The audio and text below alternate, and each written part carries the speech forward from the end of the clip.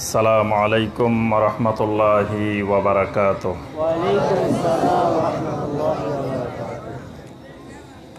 যে সকল সম্মানিত বাইরা মুরব্বিয়ানেরা, আশেপাশে দাঁড়ানো আছেন, আমি বিনীতভাবে অনুরোধ করব, আমরা দাঁড়িয়ে না থেকে আমরা ভিতরে পাটি বিছানো আছে, আমরা একটু কষ্ট করে বসে যাই। আর যারা ভিতরে বসা আছি একটু সামনের দিকে চলে আসেন তাহলে পিছনের জায়গাটা খালি হবে বাইরা বসতে পারবেন ইন্নাল হামদালিল্লাহ نحمده ونستعينه ونستغفره ونعوذ بالله من شرور أنفسنا ومن سيئات أعمالنا من يهده الله فلا مضل له ومن يضلل فلا هادي له. وأشهد أن لا إله إلا الله وحده لا شريك له.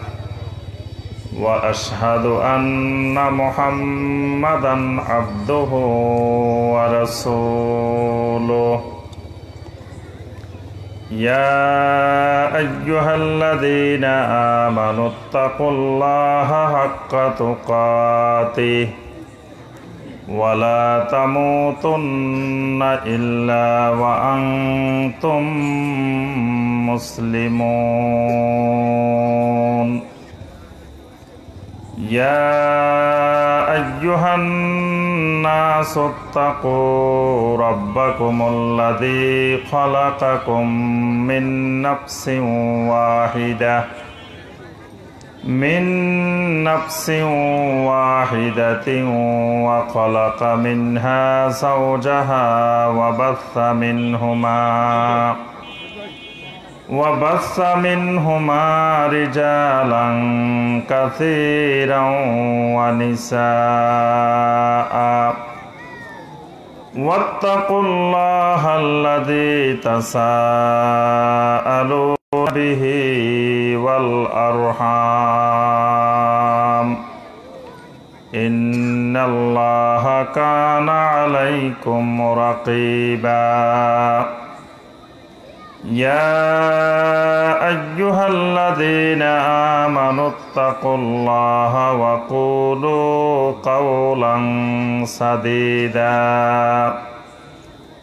يصلح لكم أعمالكم ويغفر لكم ذنوبكم.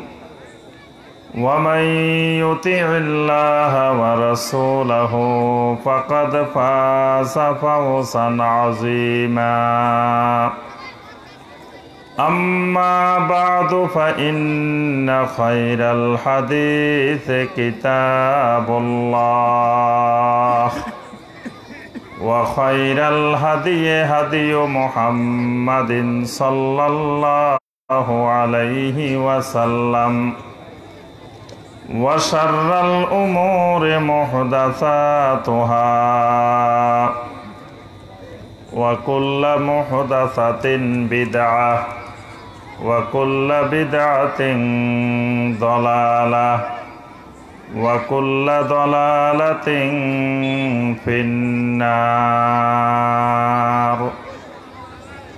اللهم صل على محمد وعلى آل محمد كما صليت على إبراهيم وعلى آل إبراهيم. إنك حميد مجيد. اللهم بارك على محمد وعلى آل محمد كما باركت على إبراهيم وعلى آل إبراهيم. إنك حميد مجيد. শরীয়তপুর জেলার অন্তর্গত বিনোদপুর চরের কান্দি যুব সমাজের উদ্যোগে আয়োজিত আজকের এই ওয়াজ মাহফিলের সম্মানিত সভাপতি,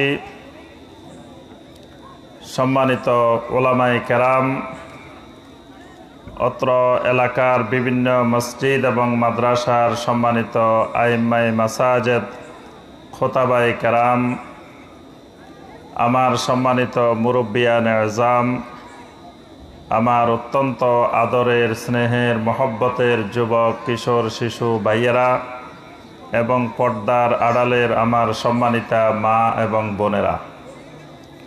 আল্লাহ রব্বুল আলমিনের দরবারে কোটি কোটি শুক্রিয়া।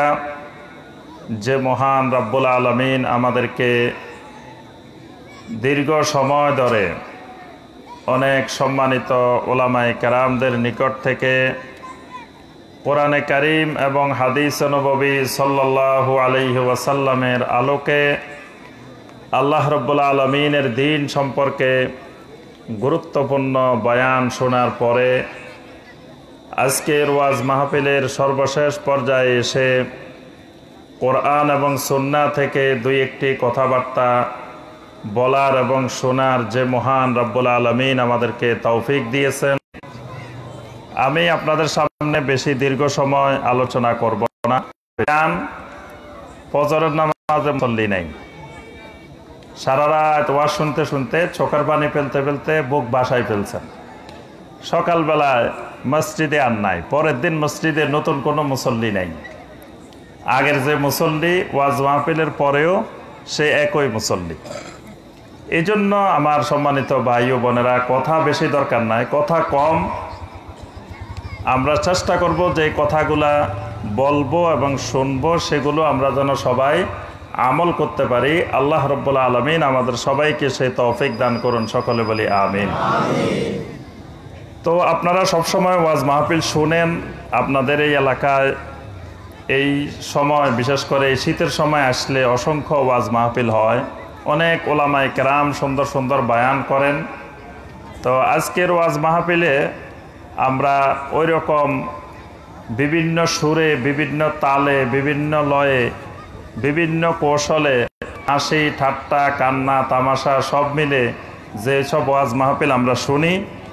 ওই রকম ওয়াজ মাহফিল থেকে একটু ব্যতিক্রম আজকের এই ওয়াজ মাহফিল। আমরা এগুলোতে অভ্যস্ত না। আমরা ওই ওই জাতীয় ওয়াজ মাহফিলের নীতিতে বিশ্বাসী না। আমরা বিশ্বাসী যে কোরআনে কারিম এবং সহি হাদিস দিয়ে মানুষকে, আল্লাহর বান্দাদেরকে, আল্লাহর দিনের দিকে দাওয়াত দেওয়া, আহ্বান করা। এই জন্য অল্প কিছু কথাবার্তা আমরা যা বলব কোরআনে কারিমের আলোকে এবং নবী সাল্লাহ ইসলামের সহি হাদিসের আলোকে। এর বাহিরে আমরা কোনো গল্প, গুজব, কিচ্ছা কাহিনী হাসি তামাশা, ঠাট্টা, এগুলো আমরা বলাকে ওয়াজ মাহফিলের সুন্না হিসাবে, ওয়াজ মাহফিলের স্বাভাবিক সালাফে সালহীনের মানহাজের আমরা খেলাপ মনে করি। এই জন্য আমার ভাই বোনেরা, আমরা অল্প কথা শুধু কোরআন এবং হাদিস থেকে কয়েকটি কথা বলব। আমাদের আজকের আলোচনার বিষয় হলো সুন্না এবং বেদাত। সুন্নত এবং বেদাত। এই বিষয়ের উপরেই আপনাদের সামনে কোরআন এবং হাদিস থেকে আমরা কয়েকটি আয়াত এবং কয়েকটি নবী সাল্লা ইসলামের হাদিস বলেই আলোচনা শেষ করব ইনশাআল্লাহ।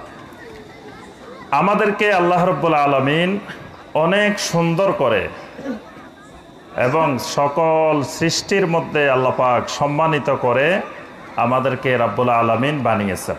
বানাইছেন না? আমাদেরকে কে বানিয়েছেন বলেন তো দেখি? একমাত্র আল্লাহ। আমাদেরকে কে বানিয়েছেন? একমাত্র আল্লাহ রব্বুল আলমিন। অর্থাৎ বানানোর ক্ষেত্রে আল্লাহর সাথে আর কারও কোনো সহযোগী ছিল না। শুধুমাত্র আমাদেরকে কেমনে বানাবেন? আমাদের চোখটা কোন জায়গায় দিবেন? কানটা কোন জায়গায় দিবেন? তারপর মাথাটা কোন জায়গায় দিবেন? হাতগুলো কোন জায়গায় দিবেন? এই সব পরিকল্পনা কার? একমাত্র আল্লাহ কারও থেকে আল্লাহ রব্বুল আলমিন এই ব্যাপারে কোনো পরামর্শ নেন নাই। আল্লাহ পাক নিজেই এই সুন্দর শরীরে, সুন্দর গঠনে, সুন্দর আকৃতিতে আল্লাহ রব্বুল আলমিন আমাদেরকে বানিয়েছেন। আল্লাহ পাক কোরআনে কারিমে জন্য আমাদেরকে ডাক দিয়ে বলছেন, ইয়া আইয়ুহাল ইনসান, মা কারীম। الذي خلقك فسواك فعدلك في أي سورة ما شاء ركبك আল্লাহ রব্বুল আলমিন দুনিয়ার সমস্ত মানুষকে ডেকে বলেন ইয়া আইয়ুহাল ইনসান হে দুনিয়ার সমস্ত মানুষ আমরা হইলাম কি আরবিতে কি? কোরআনের ভাষায় কি? ইনসান আমাদের নাম হলো ইনসান আল্লাহ পাক এই কাদেরকে ডাকছেন? আরে কথা বলেন না দেখি। মনে কষ্ট পাইছেন? কোরআন হাদিস বলব দেখি মনে কষ্ট লাগছে। কি হুজুর আসলো ঢাকা থেকে? একটা কিচ্ছু শোনাইবে না, কিছু কাহিনীও শোনাইবে না বলে আমাদেরকে খালি কোরআন আর আয়াত আর হাদিস শোনাইবে। মনে কষ্ট পাইছেন নাকি। তো এই জন্য কথা বলবেন। তাহলে আল্লাহ এই আয়াতে কাদেরকে ডাক দিছেন আমাদেরকে। বলবেন কি, আমাদেরকে। আমরা মানুষ না? তো যদি কোন মানুষদেরকে, তাহলে মানে আমাদেরকে না, ওই ওই গ্রামের মানুষদেরকে। ওই মাদারীপুরের মানুষদেরকে ডাক দিছে, আমাদেরকে না। এই জন্য সবসময় কোরআনে কারিমে যত জায়গায় আসবে, ইয়া ইনসান আপনি বলবেন, আমার আল্লাহ আমাকে ডাক দিছেন, কারণ আমি একজন ইনসান। যখনই কোরআনে কারিমে আসবে, ইয়া আইয়ুহান নাস, তখনই বলবেন, আমার আল্লাহ রব্বুল আলমিন আমাকে ডাক দিছেন। যখনই দেখবেন কোরআনে কারিমে, ইয়া আইয়ুহাল্লাযীনা আমানু তখন বলবেন, আমার আল্লাহ রব্বুল আলমিন আমাকে ডাক দিছেন। সোহান আল্লাহ কারণ আমি ইনসানও, আমি নাসও, আমি আমানুর মধ্যেও আছে। যখন মনে করবেন আমার আল্লাহ আমাকে ডাক দিছেন, তখন অনুভূতিটা যেরকম হবে। আর যদি বলেন যে ইমানদারদেরকে ডাক দিছে মানে আমারে ডাক দে নাই, অন্যদেরকে ডাক দিছে। আমরা ওয়াজ করার সময় মনে করি যে ওয়াজ খালি আপনাদের জন্য, আমার জন্য না। এরকম যদি মনে করি, তাহলে এই ওয়াজে সারা রাত ওয়াজ করলে কোনো কাজ হবে না। ওয়াজ আগে আমার জন্য, তারপরে আপনাদের জন্য। আল্লাহ পাক কোরআনে কারিমের জন্য ধমক দিয়ে বলছেন আমানু, লিমা তাকুলুনা মা লা তাফআলুন? হে ইমানদাররা এমন কথা কেন বলো?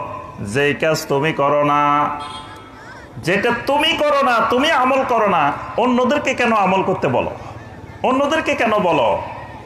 এই জন্য মানুষকে তাকোয়ার উপদেশ দিতে গেলে আল্লাহ রসুল সাল্লা সাল্লাম আগে বলতেন ও সিকুম ওয়া ইয়াবে তাকোয়াল্লাহ যে আমি তোমাদেরকেও ওসিয়ত করতেছি, আমার নিজেকেও ওসিয়ত করতেছি বেতাকোয়াল্লাহ আল্লাহর তাকোয়ার আল্লাহর ভয়ের ওসিয়ত তোমাদেরকেও করতেছি, আমাকেও করতেছি।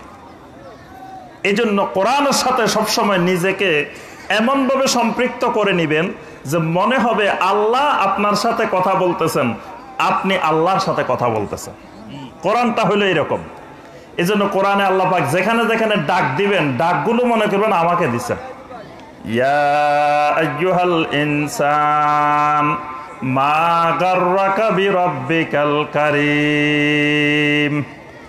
তোমাদেরকে কোন জিনিস তোমাদেরকে দোকার মধ্যে ফেলে দিয়েছে? তোমাদেরকে কোন জিনিস আমি আল্লাহর থেকে তোমাদেরকে আলাদা করে দিয়েছে? কাফা আদালাক তিনি তোমাদেরকে সৃষ্টি করেছেন, তোমাদেরকে বিন্যস্ত করেছেন, তোমাদেরকে সাজিয়েছেন। তোমাদের শরীরের মাথা থেকে পা পর্যন্ত কোন জিনিসটা, কোন অঙ্গটা কোন জায়গায় দিতে হবে কোন জায়গায় দিলে তোমাকে সুন্দর দেখা যাবে? কোন জায়গায় দিলে তোমার উপকার বেশি হবে? তোমার জন্য সহজ হবে। আল্লাহ রব্বুল আলমিন সেইভাবেই তোমাকে সৃষ্টি করলেন। ফি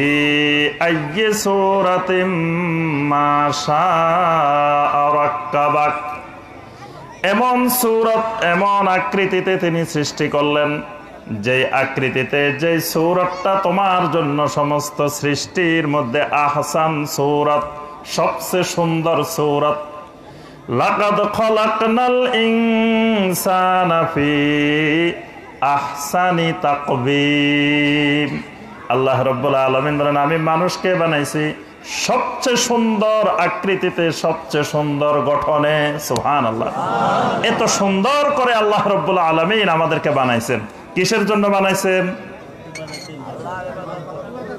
সবাই বলেন না দেখি, কিসের জন্য বানাইছেন? বলবেন যে একমাত্র এবাদতের জন্য। আপনারা দেখি একমাত্র ভুলে গেছেন। এই একমাত্র ভুলার কারণেই আমাদের কাজের ভিতরে সেরেক ঢুকছে, বেদাত ঢুকছে। একমাত্র যতক্ষণ ভুলবেন না, এতক্ষণ সেরেকও ঢুকবে না, বেদাতও ঢুকবে না। যখনই একমাত্র ভুলে যাবেন, এবার আস্তে আস্তে সেরেক ডুববে আর বেদাত ডুববে তাওহিদ থেকে দূরে সরবেন, সুন্নত থেকে দূরে সরবেন। তাহলে আল্লাহ পাক আমাদেরকে কেন বানাইছেন? একমাত্র ইবাদতের জন্য। সূরা জারিয়াতের 56 নম্বর আয়াতে আল্লাহ পাক কথাটা, এই কথাটাকে আল্লাহ পাক সরাসরি বলছেন, ওয়ামা খলাকতুল জিন্না ওয়াল ইনসা ইল্লা লিয়াবুদুন। আমি মানুষ এবং জিন এই দুটি মাখলুককে বানিয়েছি ইল্লা লিয়াবুদুন। একমাত্র আমি আল্লাহ রব্বুল আলমিনের এবাদতের উদ্দেশ্যে, খালি এবাদতের জন্য না। কিসের জন্য? একমাত্র এবাদতের জন্য। অর্থাৎ আমার এই তৈরি করা মানুষ আর জিন একমাত্র, শুধুমাত্র অনলি খালি আমারই এবাদত করবে আর কারও এবাদত করবে না। তাহলে এবাদত করতে হবে কার?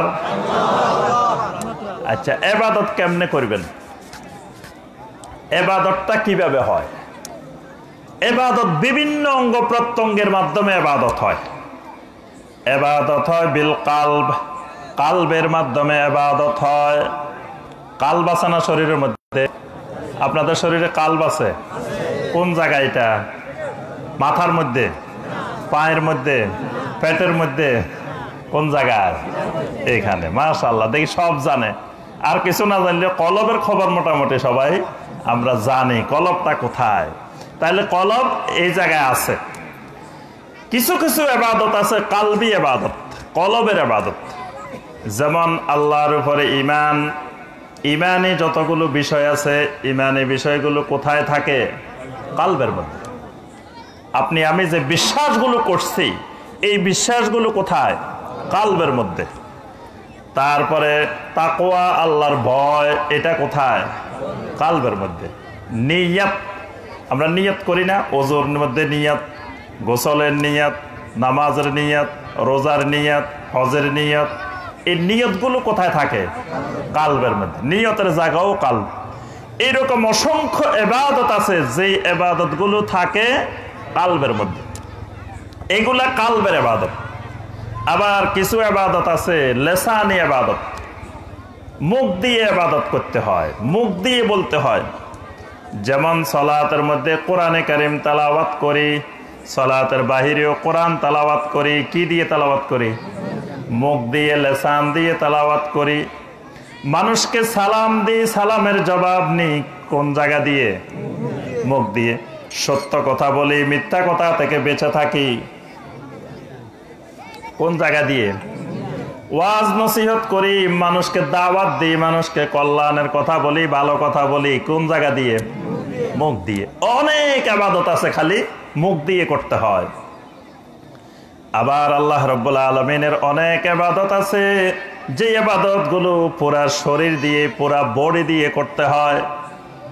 যেমন নামাজ পুরা শরীর, মাথা থেকে পা পর্যন্ত পুরা বডি দিয়ে, পুরা শরীর দিয়ে এই আবাদত করতে হয়। আবার কিছু আবাদত আছে, টাকা পয়সা দিয়ে করতে হয়। আছে না? টাকা পয়সার আবাদত কি? জাকাত ফিতরা, বিভিন্ন রকমের সদাকা, কোরবানি, এগুলো কি দিয়ে করতে হয়? টাকা পয়সা দিয়ে। আবার আল্লাহ রব্বুল আলমিনের কিছু আবাদত আছে। টাকা পয়সাও লাগে, শরীরও লাগে, দুইটা মিলে করতে হয়। এরকম আবাদত কোনটা?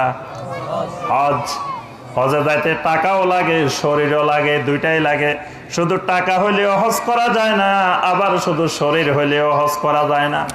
শরীর সুস্থ, শরীর স্বাভাবিক, টাকা নাই, হজ করতে পারবেন। আবার অনেক টাকা আছে, কিন্তু যাওয়ার মতো সামর্থ্য নাই, হজ করতে পারবে। তাহলে দুইটা মিলেও আছে এবাদত। তাহলে কত রকমের এবাদত আল্লাহ রব্বুল্লা আলমিন আমাদের জন্য নির্ধারণ করেছেন। এই এবাদতগুলো করতে হলে তিনটা জিনিস লাগে। কয়টা জিনিস? তিনটা জিনিস। এক নম্বর ঠিক করতে হবে, আমি যে এবাদতগুলো করব, এই এবাদতগুলো কার জন্য করব?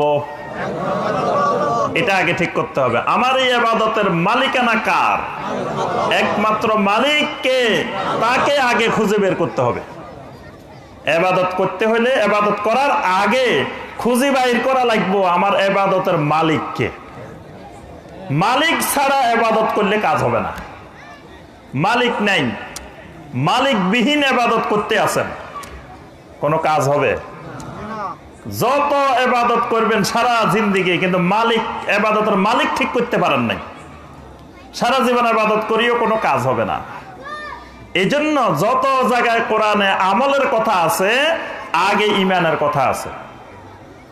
কোরআনে কারিমে দেখবেন যত জায়গায় আমলের কথা আছে, ওয়াল আস ইন্নাল ইনসানা লাফি খুসর ইল্লাল্লাযীনা আমানু ওয়া আমিলুস সলিহাত ইল্লাল্লাযীনা আমানু ওয়া আমিলুস সলিহাত আমলে সলের আগে আল্লাহ বলছেন আমানু وبشر الذين آمنوا وعملوا الصالحات أن لهم جنات وبشر الذين آمنوا وعملوا الصالحات যারা ইমান এনেছে, তারপরে আমলে সলে করেছে, তাদের জন্য আছে জান্নাত। সুবহান আল্লাহ তাহলে আমলে সলের আগে লাগবো কি? ইমান ইমান বাদে যদি সারা জিন্দিগিও আমল করেন, কোটি কোটি আমল করে বস্তা পুরাই পেলান তারপরেও এই আমলগুলো কোনো কাজে আসবে না। তাহলে এবাদত করার আগে ঠিক করতে হবে, আমার এই এবাদতের মালিককে। এইটা আগে ঠিক করতে হবে আবাদত করতে হলে। তাহলে আমার আবাদতের মালিক কি খুঁজে পাইছি? পাইছেন আপনারা? মালিককে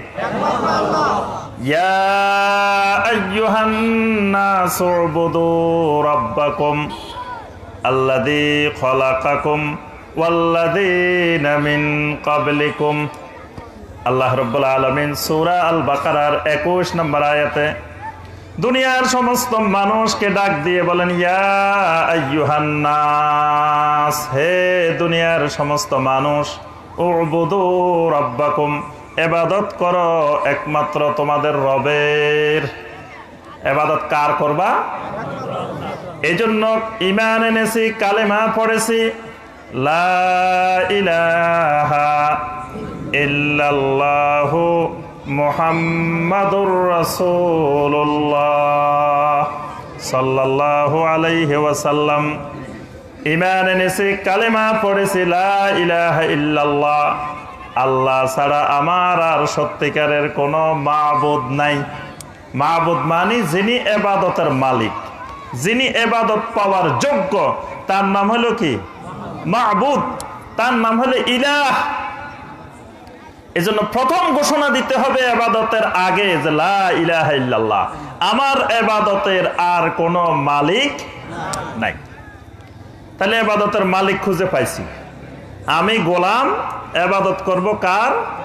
মালিকের। সেই মালিক হলেন একমাত্র আল্লাহ। আচ্ছা এবার আসেন এবাদত কোনগুলা? কেমনে করলে এবাদত হয়? এবাদত কি কি? এবার এবাদত খুঁজে বাইর করতে হবে। এবাদত যে কর্ম, এবাদত কি কর্ম এবাদত? কি এটা লাগবে না? আন্দাজি খালি কিছু কাজ করলে এবাদত হয়ে যাবে। যিনি মালিক আবাদতের উনি যেমনে করতে বলে, সেইভাবে করাটার নাম আবাদত মালিক বলছে, আজকে আমার এই জমিনের মধ্যে তোমার কাজ হলো সকাল থেকে সন্ধ্যা পর্যন্ত ধান লাগাইবা। আমি ওই জমিনের মধ্যে ধান না লাগাই, আরেকজনের জমিনে লাগাইছি সারাদিন। কাজ কিন্তু সারাদিনই করছি, পরিশ্রমে করছি। কিন্তু মালিক যেই জমিন দেখাই দিছে, সেই জমিনে লাগাই নাই। লাগাইছি আরেকজনের জমিনে। এখন মালিকের বেতন পামো সন্ধ্যার সময়। মালিক যাই দেখে, তার জমিন খালি পড়ে রয়েছে, তার জমিনে ধান লাগায় নাই। সারাদিন পরিশ্রম করছে, কিন্তু ধানগুলা লাগাই দিছে আরেকজনের জমিনে। মালিক, টাকা দিব? টাকা তো দিবে না দিবে না, আরও উত্তম মাধ্যম দিবে। বেটা, তোমার এত টাকা দিয়ে তোমার আজকে সারাদিন কাজের জন্য নিয়োগ দিলাম, তুমি আমার জমিতে না লাগাই আরেক জায়গায় লাগাই বসে রয়েছ। তাহলে মালিক এবাদতের যিনি একমাত্র মালিক, ওই মালিক যা করতে বলবেন, এটার নাম এবাদত। মালিক যদি কয়, এখানে বসে থাকো, বসে থাকার নাম এবাদত। মালিক যদি কয়, এখানে দাঁড়াই থাকো দাঁড়াই থাকার নাম এবাদত। মালিক যদি কয়, এখানে শুয়ে থাকো, শুয়ে থাকার নাম এবাদত। মালিক যখন যেখানে যেভাবে করতে বলে, এটার নাম হলো কি? হজ করছেন কে কে? দেখি এই গ্রামে হাজি সাহেব আছেন হাজি সাহেব কয়জন আছেন? হাত তোলেন দেখি। মাশাল্লাহ অনেক হাজি সাহেব। আচ্ছা হাজি সাহেবের আরাফাতের ময়দানে যাই। আরাফাতের ময়দানের এবাদত হলো কি? খালি বসে থাকা। সূর্য পশ্চিম আকাশে ঢলে পড়ার পর থেকে সূর্য অস্ত যাওয়া পর্যন্ত আরাফাতের ময়দানে উকুব করা, আরাফাতের ময়দানে অবস্থান করা, এটার নাম হলো এবাদত। এখানে কোন দোয়া, জিকির, আজকার এবাদত বন্দেগি আল্লাহ রব্বুল্লাহ আলমিন ফরজ করেন নাই। কোন আল্লাহর বান্দা যদি আরাফাতের ময়দানে গিয়ে এই সময়ের মধ্যে শুধু বসে থাকে, এই বসে থাকাটার নাম হলো এবাদত। আল্লাহ বলছেন এখানে বসে থাকার জন্য বসে থাকা এবাদত। মুজদালিফার ময়দানে এসে রাত্রিবেলায় আল্লাহ বলতেছেন, এখানে কিছু এবাদত করা লাগবে না, রাত্রে খালি ঘুমাই থাকবা, শুয়ে থাকবা। এখানে আসে শুয়ে থাকার নাম এবাদত তাহলে কোনো জায়গায় বসে থাকার নাম এবাদত কোনো জায়গায় শুয়ে থাকার নাম এবাদত কোনো জায়গায় দাঁড়াই থাকার নাম এবাদত এরকম আল্লাহ যখন যেভাবে যা করতে বলেন, এটার নাম হলো এবাদত আল্লাহ বলছেন, ওয়া আকিমুস সালাহ। বলছে না? কয়বার বলছে? অনেকবার, অসংখ্যবার কোরআনে আল্লাহ বলছেন বান্দারে, সালাত কায়েম করো, সালাত কায়েম করো। তাহলে সালাত কায়েম করা কি? এবাদত। আল্লাহ বলতেছেন যাকা বান্দা যাকাত দাও যাকাত দাও, যাকাত দেওয়া কি? ওয়ালিল্লাহি আলান নাস হজ্জুল বাইতে মান ইসতাতা ইলাইহি সাবিলা। আল্লাহর ঘরে যাওয়ার মতো যার সামর্থ্য আছে, তার উপরে আল্লাহর ঘরে যাওয়া ফরজ। আল্লাহ এখানে নির্দেশ দিচ্ছেন, আমার ঘরে যাও। তাহলে আল্লাহর ঘরে যাওয়া আল্লাহর এবাদত আল্লাহ রাব্বুল আলামিন বলতেছেন, ইয়া আইয়ুহাল্লাযীনা আমানু কুতিবা আলাইকুমুস সিয়াম। হে ঈমানদাররা, তোমাদের উপরে সিয়াম ফরজ করা হয়েছে তাহলে সিয়াম পালন করা আল্লাহর ইবাদত। আল্লাহ বলতেছেন ইয়া আইয়ুহান নাস কুলু মিম্মা ফিল আরদি হালালান তাইয়্যিবা হে ঈমানদাররা জমিনে যা হালাল আছে, হালাল খাও, হারামের ধারে কাছে যাইও না। তাহলে হালাল খাওয়া কি? এবাদত। আল্লাহ রব্বুল আলমিন যা করতে বলেন, এটাও এবাদত। আল্লাহ রব্বুল আলমিন যা করতে মানা করেন, এটার নামও এবাদত। এটার নাম হলো কি? এবাদত। তাহলে এবাদত বুঝতে হলে দিন বুঝতে হবে, দিন। তাহলে আমাদের দিন কি? একমাত্র ইসলাম। আমাদের দিন হলো ইসলাম। তাহলে মালিকও পাইছি, এবাদত কি কি এটাও খুঁজে পাইছি। কোরআনের মধ্যে, সুন্নার মধ্যে সব এবাদত বলে দেওয়া আছে। আচ্ছা এবার এবাদতটা কর্ম কেমনে? এবাদতের মালিকও খুঁজে পাইছি, এবাদতও খুঁজে পাইছি। কিন্তু এবাদতটা কর্ম কীভাবে? এবাদত করার সিস্টেম লাগবে তো, পদ্ধতি লাগবে তো। আল্লাহ বলতেছেন ওয়াকিমুস সালাহ, সালাত কায়েম করো। সালাত কেমনে কায়েম করব? সলাতের আরবিতে এক অর্থ হইল আর রাক্স মানে নাচানাচি করা। নাচানাচি করাও আরবিতে সলাত। এখন আমরা সবাই মিলে এখানে গান গাইলাম আর নাচলাম। সলাত হবে? কেন হবে না? আল্লাহ বলছে সলাৎ কায়েম করো। তো আমি তো জানি না কেমনে সলাৎ কায়েম করব। সলাতের অর্থ জানি, নাচানাচি করা, লাফালাফি করা। সবাই মিলে নাচলাম লাফালাফি করলাম সলাৎ হবে না কেন? বলেন দেখি এবার। আপনারা এটা সমাধান দেন, হইল না কেন? আল্লাহ বলছেন সলা সলাৎ কায়েম করতে বলছেন। সলাৎ মানি হইল, সলাতের অনেকগুলা অর্থ আছে। একটা অর্থ হইল নাচ, নাচানাচি করা। আমরা সবাই মিলে এখানে কতক্ষণ নাচলাম? আমি সুন্দর সুন্দর গান গাইলাম। তাহলে কি হয়ে যাবে? কেন হবে না? এবাদতটা করার জন্য এবাদতের সিস্টেম, এবাদতের তরিকা, এবাদতের পদ্ধতি কি হবে? এটা শেখানোর জন্য আল্লাহ রব্বুল আলমিন আল্লাহর একজন রাসুল ফাটাইছেন আমরা ইমান আনার সময় লা ইলাহা ইল্লাল্লাহ বলি ইমান শেষ হয় নাই। লা ইল্লাল্লাহর পরে আরও একটা জিনিসের উপরে ইমান আনছি আনছিনি সেটা কি? লা ইলাহা ইল্লাল্লাহ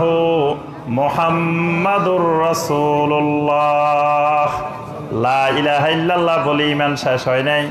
পাশে আরেকটা বাক্য আছে মোহাম্মদুর রসুল্লাহ সাল্লাহ আলহি এটা আসলো কেন? এটা যুক্ত হইল কেন? যেই মালিকের যে আল্লাহর একমাত্র এবাদত কর্ম ওই মালিকের এবাদতটা একমাত্র মোহাম্মদুর রসুল্লাহ সাল্লাহ আলহি ওয়াসাল্লামের তরিকায় হইতে হবে। যদি আবাদতটা মোহাম্মদুর রসুল্লাহ সাল্লাহ আলহি ওয়াসাল্লামের তরিকায় হয় এটার নাম সুন্নত। এটার নাম কি? সুন্নত। যদি ওই তরিকায় আবাদতটা না হয় আমার আপনার মন গড়া তরিকায় হয় বা অন্য কোনো মানুষের তরিকায় হয়, ওইটার নাম বেদাত। ওইটার নাম কি? বেদাত। তাহলে এবার সুন্নতার বেদাত বুঝছেন। আল্লাহর গোলামি করার ক্ষেত্রে, আল্লাহর এবাদতের ক্ষেত্রে যদি এবাদতটা রসুল্লাহ সাল্লাম যেমনে করতে বলছেন, যেমনে অনুমোদন দিছেন এইভাবে যদি হয়, তখন এই আবাদতটা হয় সুন্নতি আবাদত আর যদি সেইভাবে না হয়, আমার আপনার মন গড়া হয়, তখন সেটার নাম কি? বেদাতি আবাদত দুটেই আবাদত একটা সুন্নতি আবাদত আর একটা বেদাতি আবাদত আচ্ছা এখন সুন্নতি আবাদত করলে লাভ কি? বেদাতি আবাদতে অসুবিধা কি? আমার সম্মানিত ভাই ও বোনেরা, এবাদত কবুল হবার জন্য শর্তই হইল, এবাদতটা হইতে হবে সুন্নত তরিকায়। এবাদত যদি সুন্নত তরিকায় না হয়, তো সারা জিন্দিগি এবাদত করবেন, একটা এবাদত না। কারণ আল্লাহ পাক সরাসরি কোরআনে কারিমে অসংখ্য জায়গায় কথাটা বলে দিচ্ছেন সুরা আল ইমরানের একত্রিশ নম্বর আয়াত, আল্লাহ রব্বুল্লা আলমিন বলেন قل إن كنتم تحبون الله فاتبعوني يحببكم الله ويغفر لكم ذنوبكم والله غفور رحيم. إن كنتم تحبون الله إرطول إن كنتم تعبدون الله যদি তোমরা আল্লাহর ইবাদত করতে চাও, আল্লাহর গোলামি করতে চাও, ফাত্তাবিউনি। তাহলে একমাত্র আমার ইত্তেবা করো, আমার অনুসরণ করো। আল্লাহর ইবাদত করতে হলে কার অনুসরণ? একমাত্র। এটাও কিন্তু একমাত্র।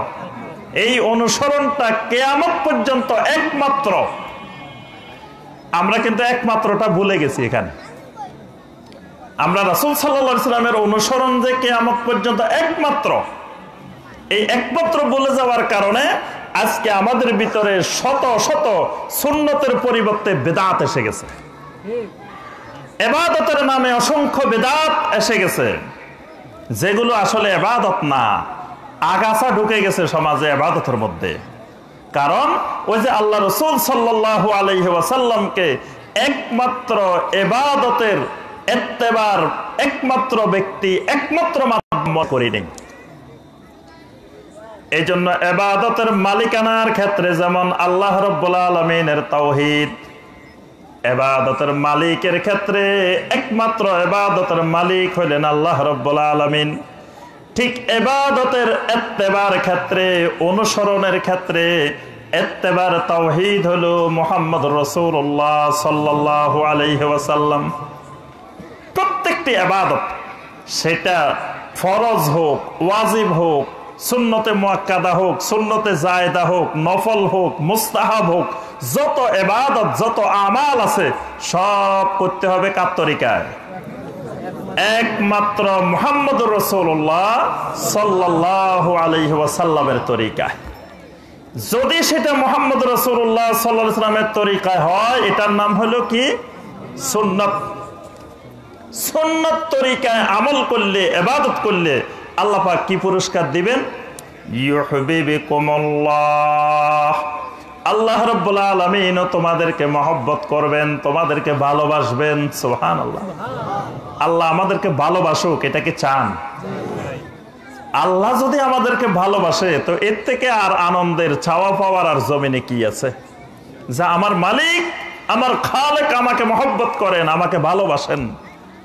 আল্লাহর এই ভালোবাসাটা পাইতে হইলে রাসুল্লাহ সাল্লামের সুন্নতের এত্তেবা করতে হবে, অনুসরণ করতে হবে। তাহলে আল্লাহ বলতেছেন, ইউহবিবিকুমুল্লাহ, আমি আল্লাহ তোমাদেরকে মহব্বত করব, তোমাদেরকে ভালোবাসবো। তোমাদের জীবনের সমস্ত গুনাহ আমি আল্লাহ মাফ করে দিব। সুবহানাল্লাহ। গুনাহ মাফ হইলে আর কিছু দরকার আছে? আল্লাহ পাক যদি কিয়ামতের দিন আমাদেরকে ডেকেবেন বান্দা, তোমার সমস্ত গুনাহ মাফ। এর থেকে আনন্দের, এর থেকে খুশির আর কোনো খবর আছে? তাহলে সুন্নতের অনুসরণ করলে, সুন্নতের এত্তেবা করলে আল্লাহ রব্বুল আলমিন মহব্বত করেন।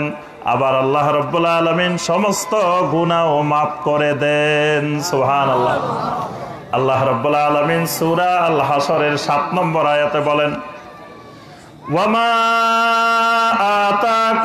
রাসূলু ওয়ামা নাহাকুম ও দুনিয়ার মানুষ, আমার রাসূল তোমাদেরকে যা কিছু করতে বলেন, যা কিছু ধরতে বলেন, সেটা শক্ত করে ধরো। আমার রাসূল তোমাদেরকে যা ছাড়তে বলেন, সেটা তোমরা ছেড়ে দাও, সেটা থেকে দূরে থাকো। আমার রাসূলের পরিপূর্ণ অনুসরণ করো। আমার রাসূল যা করতে বলেন, সেটা করবা, যেটা ছাড়তে বলেন, সেটা ছেড়ে দিবা। তাহলে দুনিয়াতেও শান্তি পাইবা, আখেরাতেও শান্তি পাইবা। কারণ সুন্নতের ভিতরে আল্লাহ পাক বরকত রেখেছেন, সুন্নতের ভিতরে কারামত রেখেছেন। কোন ব্যক্তি যদি সুন্নতের উপরে আমল করতে থাকে, আল্লাহ পাক তার মর্যাদা বাড়াই দেন। সোভান সুন্নত অনুযায়ী আমল অল্প করা, সুন্নতের বাহিরে বেদাত অনুযায়ী সারা জিন্দিগি কোটি কোটি আমল করার চাইতে উত্তম। আল্লাহ রসুল সাল্লাম বলেন মান দাখালাল জান্না ওয়ামান আসানি যে লোক আমার আনুগত্য করে, আমার অনুসরণ করে দাখালাল জান্না, আল্লাহ রব্বুল আলমিন তাকে জান্নাতে প্রবেশ করাবেন সুহান আল্লাহ আসানি ফাকাদ আবা। যে লোক আমাকে অস্বীকার করে, আমার নাফরমানি করে, আমার সুন্নত মানে না এই লোকটাই আমাকে অস্বীকার করে, আর যে লোক আমাকে অস্বীকার করে, সেই লোক জাহান নামে যাবে। তাহলে সুন্নত ছেড়ে দেওয়া জাহান নামে যাওয়ার কারণ। আর সুন্নতকে শক্ত করে ধরা দাখালাল জান্না, জান্নাতে যাওয়ার মাধ্যম। সোহান জান্নাতে যেতে হলে অবশ্যই রাসুল্লাহ সাল্লামের সুন্নতকে শক্ত করে, মজবুত করে, দৃঢ় করে ধরে রাখতে হবে। আমালুন আমালিন ফি আল্লাহ রসুল সাল্লাম বলেন, সুন্নত পদ্ধতিতে অল্প আমল করা, বেদাতি পদ্ধতিতে অনেক অনেক আমল করার চাইতে উত্তম। সোহান আল্লাহ সুন্নত পদ্ধতিতে অল্প আমল, বেদাত পদ্ধতিতে অনেক আমলের উত্তম। আল্লাহ বর্তমানে আমরা যেই জামানায়, যেই যুগে বসবাস করি, এই যুগটা হলো অসংখ্য ফেতনার যুগ, অসংখ্য ফেতনা। সকালবেলায় মমিন, সন্ধ্যাবেলায় কাফের হয়ে যায়। সন্ধ্যাবেলায় মমিন, সকালবেলায় কাফের হয়ে যায়। চতুর্দিকে ফেতনা চতুর্দিকে ফেতনা চতুর্দিকে ফেতনা। আল্লাহ রসুল সাল্লাম বলেন فإنه من يعش منكم بعدي فسيرى اختلافا كثيرا ও আমার উম্মতেরা আমার পরে যারা দুনিয়াতে বসবাস করবা দেখবা চারিদিকে খালি একতলাফ আর একতলাফ একতলাফ আর একতলাফ ওই সময়ে তোমাদের করণীয় হলো আলাইকুম বিসুন্নতি وسنة الخلفاء الراشدين আব্দু আলাইহা বিন নামাজেজ আমার উম্মত, ফেতনা থেকে রক্ষা পাইতে হলে, ফেতনা থেকে বাঁচতে হলে ইমান নিয়ে টিকে থাকতে হলে, আমার সন্ন্যত গুলাকে শক্ত করে, মাড়ির দাঁত দিয়ে শক্ত করে কামড়ায় ধরে রাখবা। সামনের দাঁত দিয়ে ধরিও না, ধরবা মাড়ির দাঁত দিয়ে। কারণ সামনের দাঁত দিয়ে ধরলে ফেতনা তো ভয়ঙ্কর হবে। তোমার থেকে সুন্নতকে টান মেরে তোমার দাঁত ভেঙে নিয়ে যাবে। সামনের দাঁত দিয়ে ধরলে জোরে যখন টান দিবে, তখন দাঁত ভেঙে গিয়ে তোমার সুন্নত ছুটে যাবে। কিন্তু যদি তুমি মাড়ির দাঁত দিয়ে শক্ত করে ধরো, ওই ফেতনা তোমার সুন্নত নিয়ে যত টানাটানি করুক না কেন, তোমার থেকে সুন্নত সরাইতে পারবে না। কারণ মাড়ির দাঁত দিয়ে ধরলে এটা শক্ত করে ধরা হয়, মজবুত করে ধরা হয়। আল্লাহ রসুল সাল্লাম বলেন আব্দু আলাইহা বিন নামাজেজ আমার উম্মত সুন্নত গুলাকে ধরবা নামাজেজ দাঁত দিয়ে, মাড়ির দাঁত দিয়ে। সুহান খবরদার, ওই ফেতনার যুগে দেখবা নতুন নতুন কত আমল, নতুন নতুন এবাদত নতুন নতুন দরুদ নতুন নতুন জিকির, নতুন নতুন পদ্ধতি, কত রকমের এবাদত কত রকমের আকিদা, কত রকমের পদ্ধতি। খবরদার, এই নতুন নতুন জিনিসগুলা থেকে দূরে থাকবা। কারণ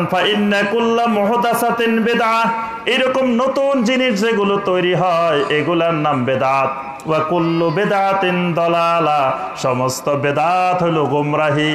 ওয়া কুল্লু দলালাতিন ফিন্নার আর এই সকল গুমরাহি তোমাদেরকে জাহান্নামের দিকে নিয়ে যাবে। ওই ফেতনার যুগে তোমরা নতুন আবাদত করার থেকে দূরে থাকবা। পুরানা আবাদত করবা, নতুন আবাদত না। আচ্ছা এখন পুরানা আবাদত আর নতুন আবাদতের সীমানা কতটুকু? এটা বোঝা লাগবে না? নতুন কোনগুলা, পুরাতন কোনগুলা? কোন যুগ পর্যন্ত, কত সাল পর্যন্ত নতুন? পুরাতন, তারপরে কত সাল থেকে নতুন, এটা তো বোঝা লাগবে। কারণ কালকে যেটা হয়েছে, এটাও তো পুরাতন। আজকে যেটা, এটা নতুন। তাই বলে কি গতকাল পর্যন্ত যা তৈরি হয়েছে, সবগুলা পুরাতন। কি বলেন? তাহলে পুরাতনের সীমানা কতটুকু, এটা তো বুঝে নিতে হইব। এটা আল্লাহ রসুল সালামের এই কথার মধ্যে আছে।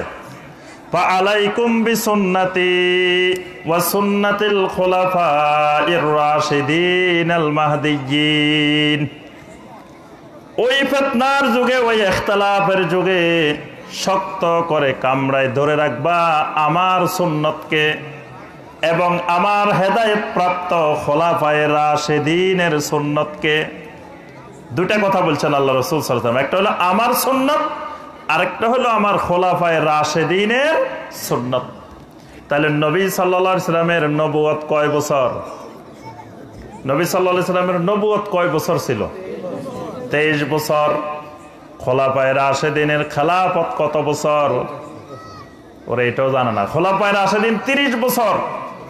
নবী সাল্লা সাল্লামের নবুয়ত হলো তেইশ বছর। তাহলে তেইশ বছর প্লাস তিরিশ বছর কয় বছর হয়েছে? এই তেপ্পান্ন বছরের মধ্যে যেগুলো এবাদত, এগুলা পুরানা এবাদত। এই তেপ্পান্ন বছরের পরে যেগুলা তৈরি হয়েছে এইগুলার নাম মহদাসা, এগুলাই সব নতুন। এগুলার নাম নতুন এবাদত। তেপ্পান্ন বছরের পরে যত আকিদা তৈরি হয়েছে, এগুলা সব নতুন তৈরিকৃত আকিদা। তেপ্পান্ন বছরের পরে যত আমল তৈরি হয়েছে, এগুলা সব নতুন নতুন আমল, নতুন নতুন তরিকা। এই তেপ্পান্ন বছরের মধ্যে যেটা এবাদত, যেটা আমল, এটা কেয়ামত পর্যন্ত এবাদত। এই তেপ্পান্ন বছরের পরের যেগুলো, এগুলো কেয়ামত পর্যন্ত মহদাসা, কেয়ামত পর্যন্ত বেদাত। আল্লাহ রসুল সাল্লাহ সাল্লাম আরও স্পষ্ট করে বলছেন মান আহাদাসা আমরিনা হাজা, মা লাইসা মিনহু ফাহুয়া রাদ্দুন। যদি কেউ নতুন নতুন কোন ইবাদত বানায়, যেটা আমি রাসূল করি নাই, আমার সাহাবীরা করে নাই, ফাহুয়া রাদ্দুন। এটা বাতিল, এটা প্রত্যাখ্যাত, এটা আল্লাহর কাছে কবুল হয় না। নতুন এবাদত করলে আল্লাহ সেটা কবুল করেন না। এবাদতটা হইতে হবে পুরানা এবাদত পুরানা আবাদত কোনটা? আরে সবাই ঘুমাই গেছেন নাকি? পুরানা আবাদত কোনটা? ওই তেপ্পান্ন বছরের আবাদতগুলা পুরানা আবাদত।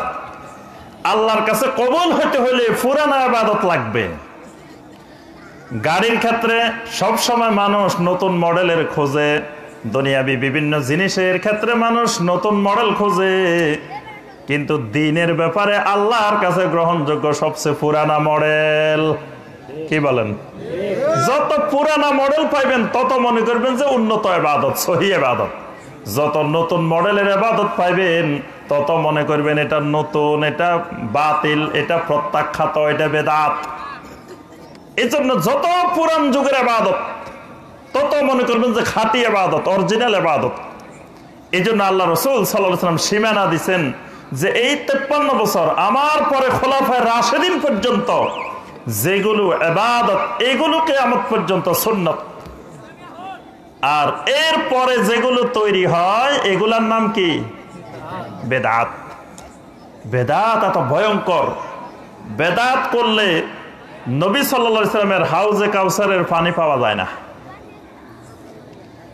বারো জন প্রসিদ্ধ সাহাবি থেকে হাদিস বর্ণিত হয়েছে। সহি আল বুখারি, সহি মুসলিম সহ অসংখ্য হাদিস গ্রন্থে এই হাদিসটি এসেছে। আল্লাহ রসুল সাল্লাহ আলহিহাসাল্লাম হাউজে কাউসারের সামনে দাঁড়ানো থাকবেন। হাউজে কাউসারের পান পাত্রের সংখ্যা কাদাদে নুজুম ইসামা আকাশের নক্ষত্র যেরকম, হাউজে কাউসারের গ্লাসগুলা এত অধিক সংখ্যক। অর্থাৎ প্রত্যেককে, প্রত্যেক উম্মতকে ওয়ান টাইম একটা একটা গ্লাসের মধ্যে পানি দেওয়া হবে সোহান একজনে খাই শেষ হইলে আরেকজন এরকম না।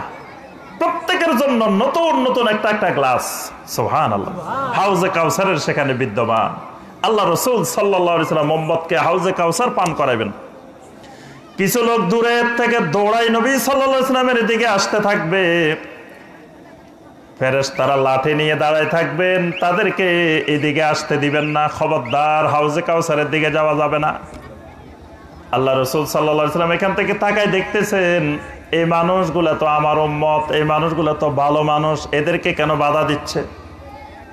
নবী সাল্লাম বলবেন হাউলাই উম্মাতি হাউলাই উম্মাতি, এরা তো আমার উম্মত, এরা তো আমার উম্মত, এদেরকে আটকে রেখছো কেন? এদেরকে ছেড়ে দাও। ফেরেস তারা বলবেন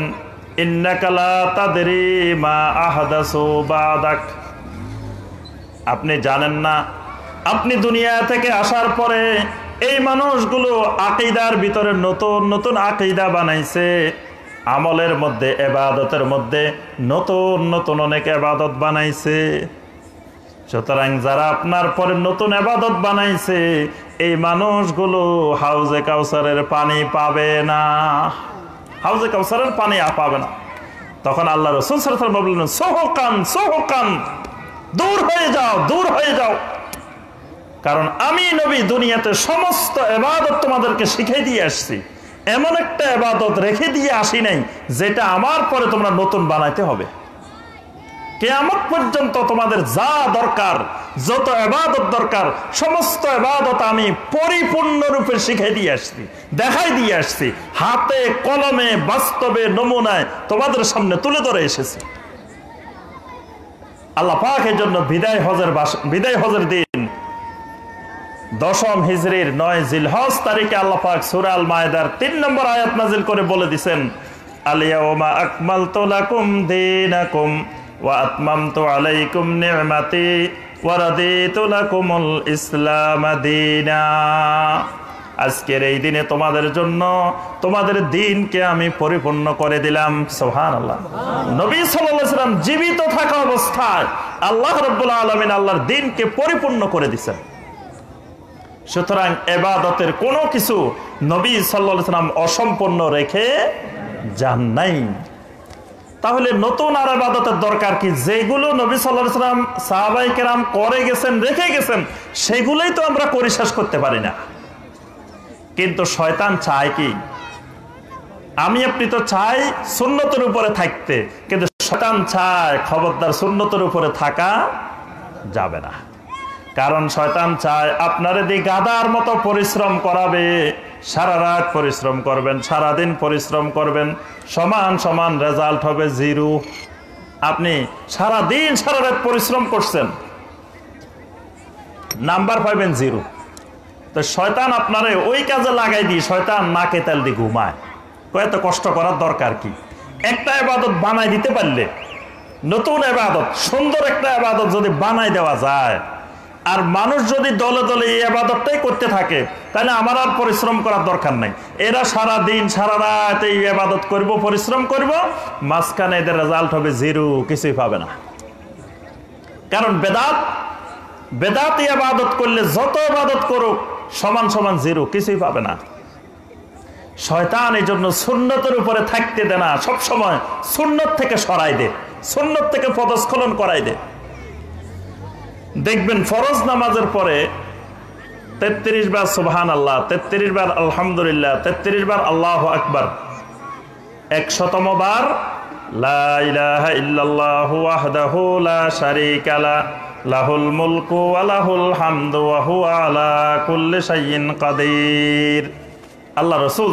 এটা শিখাই তাহলে 33 বার সুবহানাল্লাহ 33 বার আলহামদুলিল্লাহ 33 বার আল্লাহ আকবার। কিন্তু দেখবেন আপনি যখন পড়তে যাইবেন, শয়তান আপনাকে 33 বার পূর্ণ করতে দিবে না। হয় চৌত্রিশ বার হয়ে যাবে, না হয় বত্রিশ বার হয়ে যাবে। হয় একবার বাড়ি যাইব অথবা একবার কমে যাইব। শয়তান আপনাকে তেত্রিশ তেত্রিশ করতে দিবে না। কারণ আপনি যদি তেত্রিশই পূর্ণ করে ফেলেন, তা আপনি তো সুন্নতের উপর আমল করে ফেলছেন। এজন্য শয়তান আপনাকে সুন্নতের উপর থাকতে দিবে না। শয়তান হয় তেত্রিশের জায়গায় চৌত্রিশ বানাই দিব, অথবা তেত্রিশের জায়গায় একটা কমায় বত্রিশ বানাই দিব। দেখবেন যে আপনি পড়তেছেন পড়তেছেন, হঠাৎ করে বলে গেছেন। এলোমেলো হয়ে গেছে। হয় বত্রিশ না হয় চৌত্রিশ, তেত্রিশ হবে না। আল্লাহ রসুল সাল্লাহ সাল্লাম বলেন, মান ক্বালা হিনা ইউসবিহু ওয়া হিনা ইউমসি, মিয়াত ওয়া বিহামদিহি যে ব্যক্তি সকাল বেলায় সন্ধ্যা বেলায় একশত বার বলবে, সুবহানাল্লাহি ওয়া বিহামদিহি, সুবহানাল্লাহি ওয়া বিহামদিহি, সুবহানাল্লাহি ওয়া বিহামদিহি খালি এই বাক্যটা। আল্লাহ রসুল সাল্লাহ সাল্লাম বলেন, সে কিয়ামতের দিন এমন পরিমাণ নেকে নিয়ে আসবে, যে ব্যক্তি এই আমল করে নাই তার আমল আর এর আমল সমান হবে না। এরকম বিশাল ফজিলত নিয়ে আসবে। সোহান আল্লাহ এজন্য দেখবেন একশো বার যখন সোহান আল্লাহ বিহামদি পড়তে যাইবেন, হয় একশো একবার হইব অথবা নিরানব্বই বার হইব, একশো বার হবে না। শয়তান আপনাকে নবী সাল্লাম যে সন্ন্যতগুলোর কথা বলছেন সন্ন্যতের উপরে থাকতে দিবে না। হয় বাড়াই দিব, না হয় কমাই দিব। নবী সাল্লামের সুন্নত হইল যাকে চিনো আর যাকে না চিনো, সবাইকে সালাম দাও। সালামের পদ্ধতিটা হবে, আসসালাম আলাইকুম রহমতুল্লাহ। কিন্তু শয়তান আপনাকে এই সুন্নতের উপরে থাকতে দিবে না। শয়তান বানাই দিবে সাম আলাইকুম। শয়তান বানাই দিব কি? সাম আলাইকুম। আসসালামু আলাইকুম থাকবে না। আসসালামু আলাইকুমটাকে পরিবর্তন করে সাম আলাইকুম। শয়তান চেঞ্জ করে দিছে, পরিবর্তন করে দিছে। আপনাকে সুন্নতের উপরে থাকতে দেয় নাই। আপনি মনে করতেছেন সালাম দিচ্ছেন। সালাম দিচ্ছেন, কিন্তু আসলে সালাম হচ্ছে না, বরং উল্টা গুণা হয়ে যাচ্ছে। কারণ শয়তান আপনাকে সুন্নতের উপরে থাকতে দেয় নাই। এইভাবে যতগুলো সুন্নত আছে, আপনি সুন্নতের উপরে থাকতে চাইবেন। শয়তান কিন্তু আপনাকে সুন্নতের উপরে থাকতে দিবে না। কারণ শয়তান ভালো করে জানে, সুন্নত থেকে বাহিরে গেলে, সুন্নত থেকে পদস্খলন ঘটলে আপনার ওই আবাদত আর কবল হবে না। এই জন্য সবসময় খেয়াল রাখতে হবে, নামাজটা পড়ার সময় খেয়াল রাখতে হবে, আমার রসুল সাল্লাহ ইসলাম কীভাবে নামাজটা পড়ছেন? আমার রসুল যেমনে পড়ছেন, আমার রসুলের সাহাবিরা যেমনে পড়ছেন, আমাকেও পড়তে হবে হুব হু ওই পদ্ধতিতে। এর বাহিরে যদি নিজের পদ্ধতিতে রুকু করেন, নিজের পদ্ধতিতে সাজদা করেন, নিজের পদ্ধতিতে বৈঠক করেন, সারা জীবন নামাজ পড়ব, নামাজ আল্লাহ কবুল করবে না।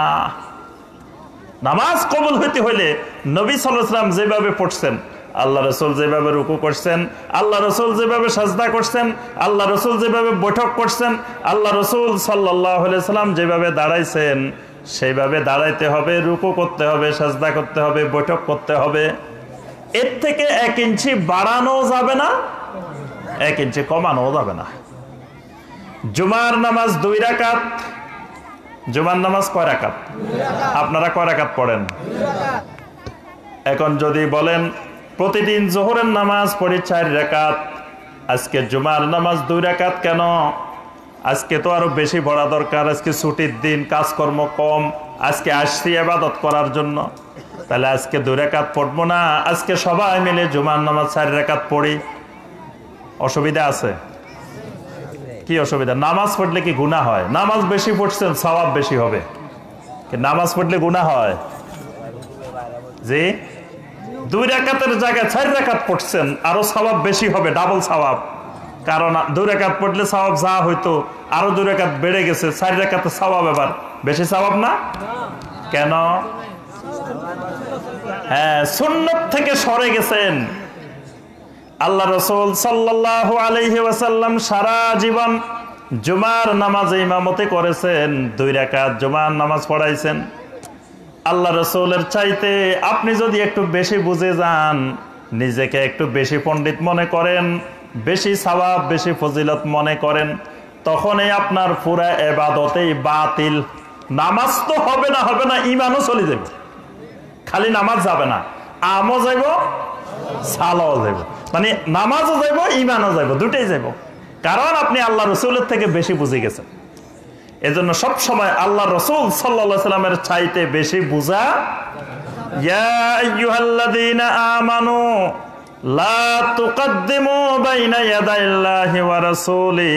হে ইমানদাররা আল্লাহ এবং রাসূলের থেকে বেশি বুঝিও না। আল্লাহ এবং আল্লাহ রসুলের চাইতে আগ- আগানো যাবে না, অগ্রগামী হওয়া যাবে না, বেশি বোঝা যাবে না। দুই রেখাত দুই রেখাতের মধ্যে থেমে থাকতে হবে। আচ্ছা এবার আপনাদেরকে আরেকটা মাসালা জিজ্ঞেস করব, আপনারা জবাব দিবেন। দুই রাকাত অথবা চার রাকাত নামাজের মধ্যে শেষ বৈঠকে বসলাম। শেষ বৈঠকে বসার পরে প্রথমে কি পড়তে হয়? তাসাহুদ পড়তে হয়। আত্তাহিয়াতু লিল্লাহি ওয়াসসালাওয়াতু ওয়াত-তাইয়্যিবাত। এই পর্যন্ত পড়ছি। পড়ার পরে আমার মনে হলো এর পরের বাক্যটা, এর পরের অংশটা হলো আমার নবীকে সালাম দিতে হবে। সালাম দেওয়া লাগবে না? আসসালামু আলাইকা আইয়ুহান নাবিয়্যু ওয়া রাহমাতুল্লাহি ওয়া বারাকাতুহু। এটা, এই সালামটা কার উপরে? আল্লাহ রসুল সাল্লা সাল্লামের উপরে। আমি চিন্তা করলাম, আহারে, এত বড় বেয়াদবি আমার নবীর শানে মানায় না। আমার নবীকে সালাম দিমু, আর এইভাবে বসে বসে সালাম দিমু, কত বড় বেয়াদবি। উঠে দাঁড়াই গেলাম, আত্মাহিয়াতের মধ্যে, বৈঠকের মধ্যে, একটা বাক্য বলার পরে দাঁড়াই গেছি। প্রথম পড়ছি আত্মাহিয়াত তারপরে দাঁড়াই গেলাম। দাঁড়াই নবীকে সালাম দিলাম, আসসালাম আলাইকা আইয়ুহান নাবিয়্যু ওয়া রাহমাতুল্লাহি ওয়া বারাকাতুহু। সালামটা দিয়ে আবার বসে গেলাম। আর তাই তোর বাকি অংশ যেটা আছে, আবার বসে বসে সেটা শেষ করলাম। এরপরে আবার আমার নবীর উপরে দরুদ আবার চিন্তা করলাম, আহারে, এইভাবে বসে বসে দরুদ পড়লে কত বড় সাংঘাতিক বেয়াদবি। আমি আল্লাহর নবীর সানে এত বড় বেয়াদবি আর সহ্য হয় না, আর বসে থাকতে পারি না। আবার উঠে দাঁড়াই গেলাম, দাঁড়ায় দাঁড়ায় দরুদ পড়লাম আল্লাহ আলা মোহাম্মদ আলে মোহাম্মদ কামা সাল্লাইতা আলা ইব্রাহিম ওয়ালা আলে ইব্রাহিম ইন্নাকা হামিদুম মাজিদ। দাঁড়ায় দাঁড়ায় দরুদ পড়ার পরে বসে গেলাম। বসার পরে দোয়াই মাসুরা পড়লাম আল্লাহ ইন্নি যালামতু নাফসি জুলমান কাসীরা, ওয়ালা ইয়াগফিরুজ যুনুবা ইল্লা আনতা। শেষ করলাম। শেষ করে দুই দিকে সালাম ফিরাইলাম। আমার নামাজ হয়েছে কি হয় নাই? ওরে কি কয়? আমার নবীরে সম্মান করছি, আমার নবীরে মহব্বত করছি। আরে মিয়া, নবী না হইলে নামাজ হইতো নাকি? যেই নবী না হইলে নামাজে পাইতা না, সেই নবীরে সম্মান জানাইছি। আর শরীয়তপুরের বাইরা ফতোয়া দে আমার নামাজ হবে না। কি বলেন? নামাজ হবে? কার উসিলায় সিন্নি খাইলি, মোল্লা চিনলি না। কার উসিলে নামাজ পাইলা, কার উসিলে তুমি নামাজ শিখলা, নামাজের মতো আবাদত পাইলা, সেই নবীরে সম্মান জানাইছি, আমি খারাপ কিছু করছি। কি বলেন? আমি তো সব নবীর সম্মানে করছি, নবীর মহব্বতে করছি। আর আপনারা শরীয়তপুরের বাইরে এখন আমার নামাজ হবে না। এটা কেমন কথা? কি আমি খারাপ কিছু করছি নামাজের মধ্যে? হ্যাঁ? আমি তো নবীর সম্মান জানাইছি। আমি নবী সালামকে দাঁড়ায় দাঁড়ায় সালাম দিছি। নবী সালামকে দাঁড়ায় দাঁড়ায় আমি দরুদ পড়ছি। আমি তো খারাপের কিছু করি নাই। কি বলেন? নামাজ হবে? বলেন, নামাজ তো হবে না হবে না। আমও যাইব, সালাও যাইব, নামাজও যাইব ইমানও যাইব। খালি নামাজ না ইমানও যাইব। তাহলে নবী সালামকে বেশি মহব্বত, অতিরঞ্জন, বাড়াবাড়ি, নিজের মন গড়া মহব্বত দেখাইতে যায় ইমানও যাইব, আমলও যাইব। নবী সাল্লামকে মহব্বত করা ইমানের অংশ। নবী সাল্লামকে মহব্বত নাই ইমান নাই। একজন ইমানদার নিজের নফসের চাইতে, নিজের প্রাণের চাইতে, নিজের রুহের চাইতেও আল্লাহ রসুল সাল্লামকে বেশি মহব্বত করে, বেশি ভালোবাসে। না হলে তার ইমানে নাই। ওমর ইবনে খাত্তাব রাদিয়াল্লাহু তাআলা আনহু বললেন, ইয়া রাসূলুল্লাহ সাল্লাল্লাহু আলাইহি ওয়াসাল্লাম, লা আনতা আহাব্বু ইলাইয়া মিন কুল্লি শাই ইল্লা মিন নাফসি। ইয়া রাসূলুল্লাহ সাল্লাল্লাহু আলাইহি ওয়াসাল্লাম আপনারে আমি এত মহব্বত করি, দুনিয়ার আর কোন জিনিসকে এত মহব্বত করি না। ইল্লা নাফসি, তবে আমার নিজের চাইতে বেশি মহব্বত করি না।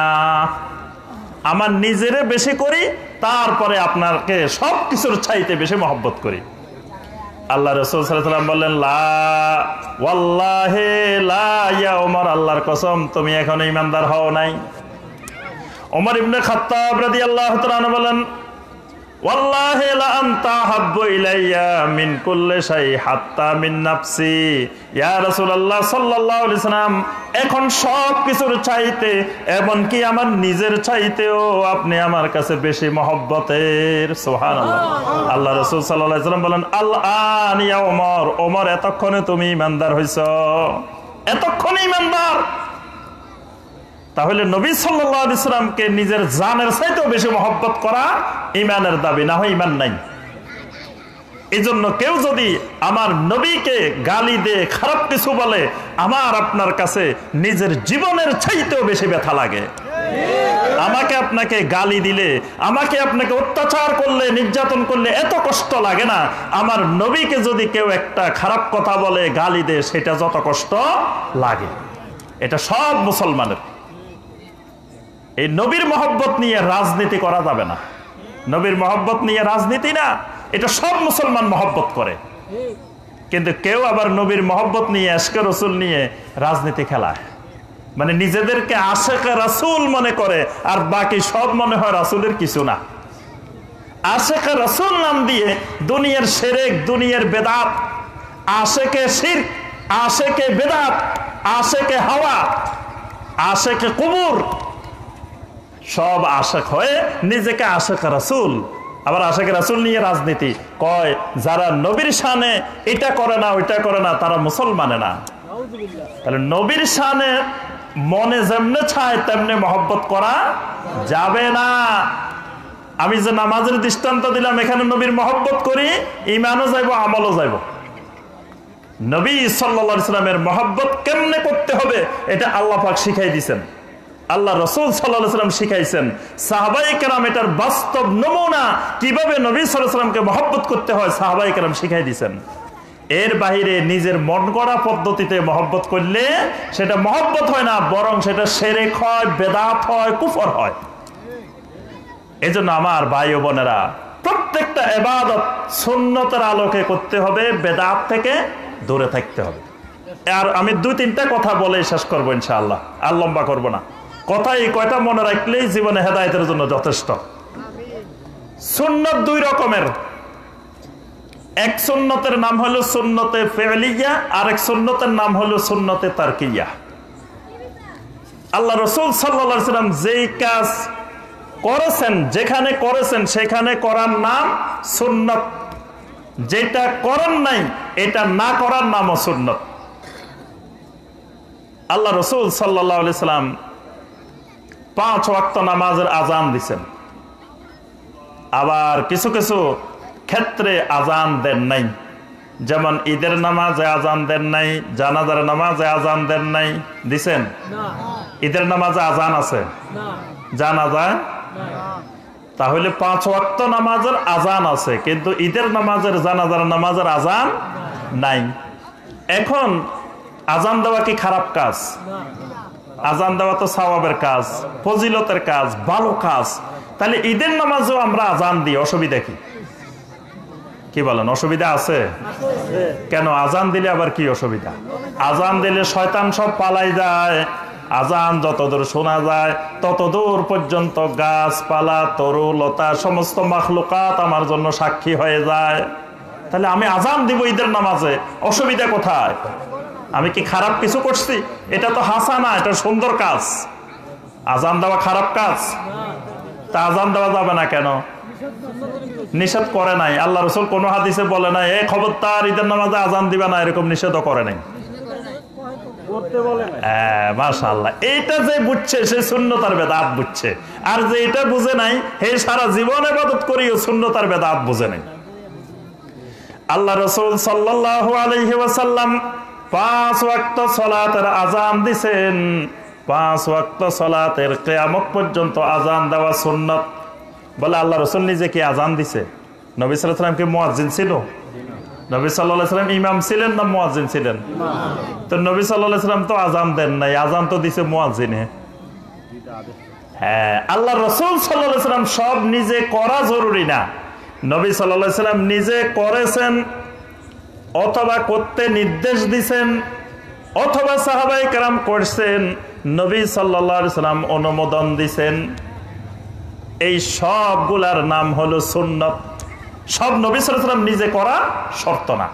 নবী সাল্লামের সমস্ত আমল উন্মতের জন্য সুন্নত না। এই সূত্র আবার মনে রাখতে হবে।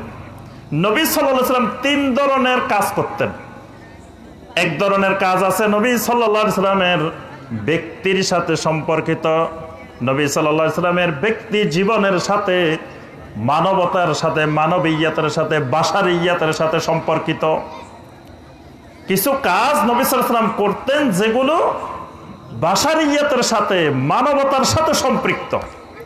যেমন নবী সাল্লাম খাবারের ক্ষেত্রে কিছু কিছু খাবার খুব পছন্দ করতেন।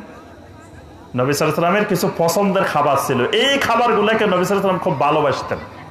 আবার কিছু কিছু খাবার নবী সাল্লাম হালাল খাবারও খাইতেন না। সাহাবিদেরকে বলতে যে, তোমরা খাও, আমি খাব না। এটা হালাল, কিন্তু আমার রুচিতে আসে না, আমি খাব না। গরুর বুড়ি আছে না, বুড়ি চিনেন নেই আপনারা কি বলেন?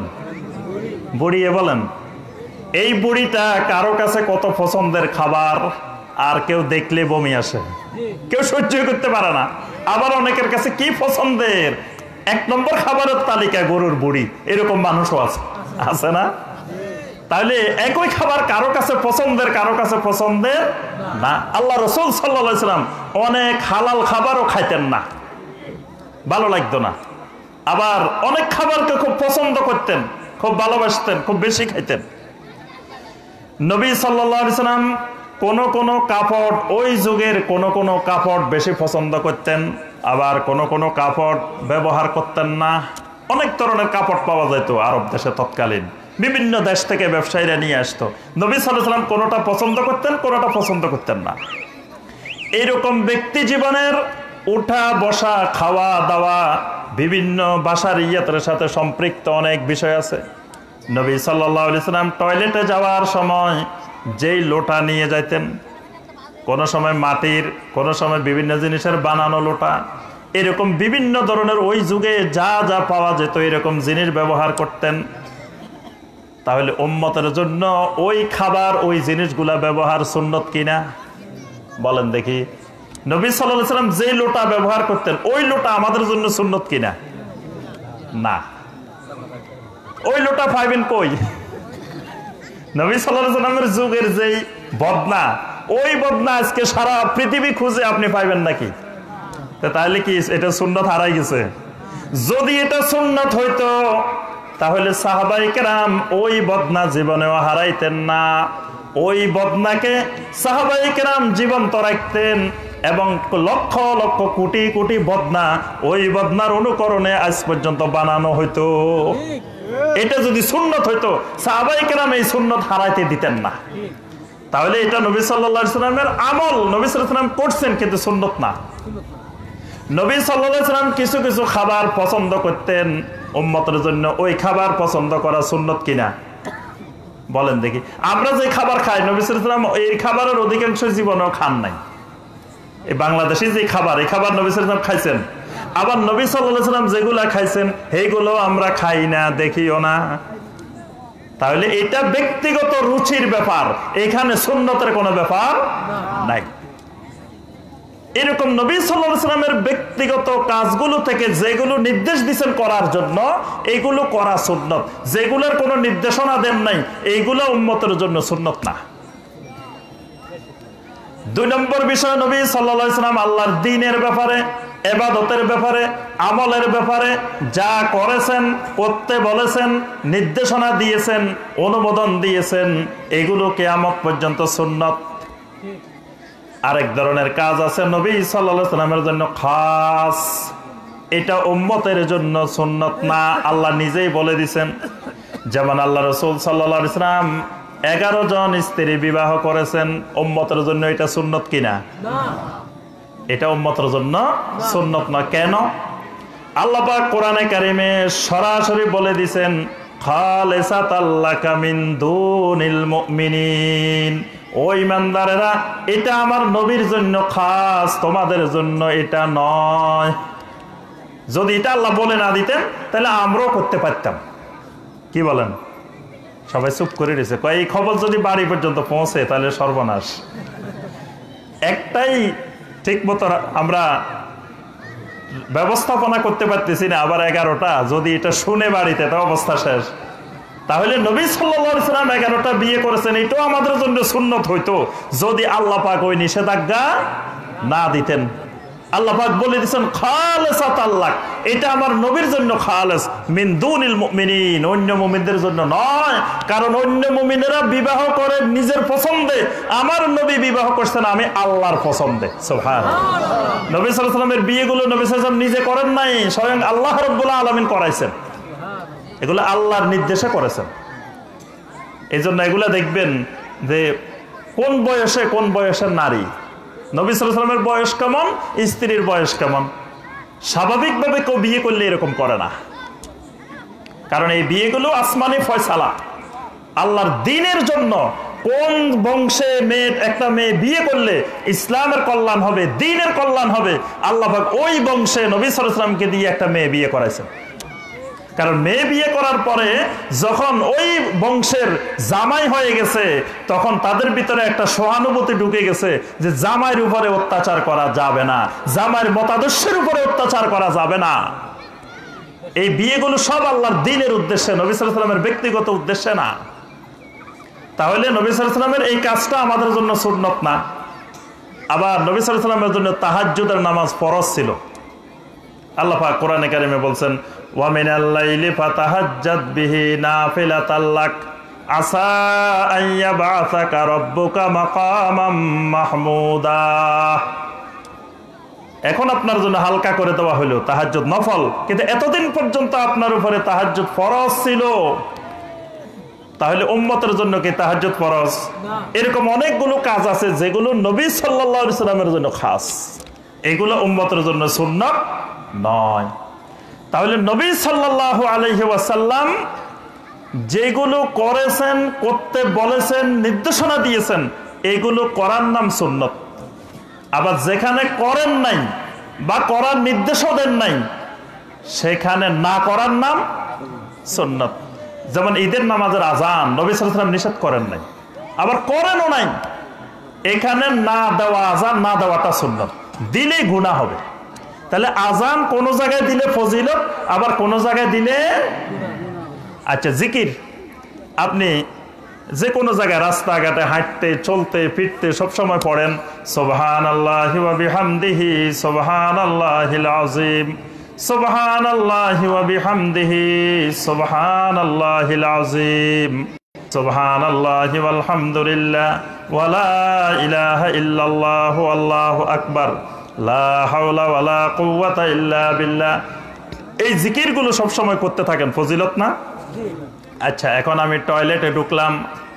টয়লেটে ঢুকার পরে টয়লেটের কাজ সারাইতেছি, আর চিন্তা করতেছি, আহারে, এখন তো কোনো কাজকর্ম নাই, মোবাইলও চালাইতে পারতেছি না, ফেসবুকও দেখতে পারতেছি না, তারপরে কারও সাথে কথাও বলতে পারতেছি না, সব বন্ধ। এই সময় কতক্ষণ আল্লাহর জিকির করি লই?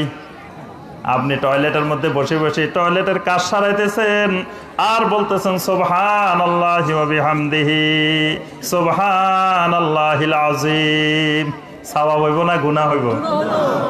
আপনি আল্লাহর জিকিরে না করছেন, খারাপ কিছু করছেন। তাহলে আল্লাহর জিকিরও কোনো জায়গায় করলে ফজিলত, আবার কোন জায়গায় করলে গোনা হয়। এইটা বুঝে শুনে করতে হবে যদি কোন যে মিয়া এখানে আমি খারাপ কাজ করছি, আল্লাহর জিকিরে না করছি। এই জন্য আমাদের সমাজে অনেকে বেদাতটা এই জায়গায় গিয়ে বুঝে না। কয়, এটা তো ভালো কাজ করছি, এটাতে খারাপের কি আছে?